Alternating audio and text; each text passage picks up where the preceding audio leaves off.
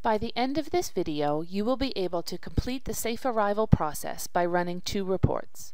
The PowerTeacher Attendance Report will allow you to verify that all teachers have submitted their attendance, and the Safe Arrival Report will generate a list of the names and phone numbers of students with unexcused absences for a given day. Here's the situation. As your school's administrative assistant, one of your daily tasks is to complete the attendance process by phoning the homes of students with unexcused absences. Before you can make these calls, you must ensure that all teachers have remembered to submit their attendance. First of all, ensure you are on the PowerSchool main page by clicking the PowerSchool logo. Take a look at the items in the Functions menu and try to determine which one you should select.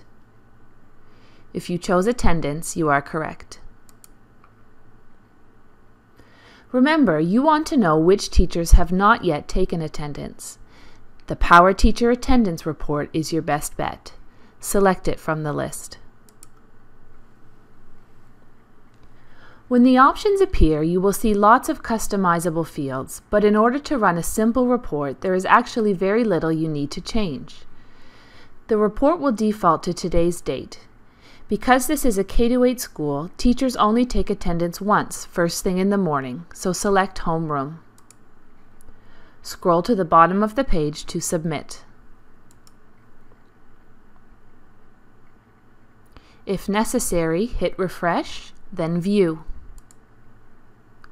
The names of teachers who have not yet taken attendance will appear.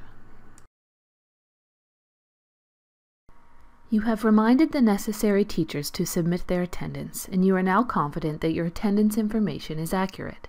It is now time to retrieve a list of students with unexcused absences so that you can call their homes to confirm that they are not at school. Once again, ensure you are on the main page by clicking the PowerSchool logo. Under Reports, choose System Reports, NB Reports, and Safe Arrival. Again, the report will default to today's date, but if necessary, select a past date by clicking on the calendar. Hit Submit.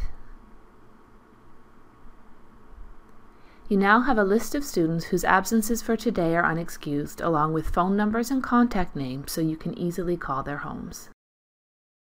Congratulations! You are now able to complete the safe arrival process by verifying that all teachers have submitted attendance and by generating a list of students with unexcused absences.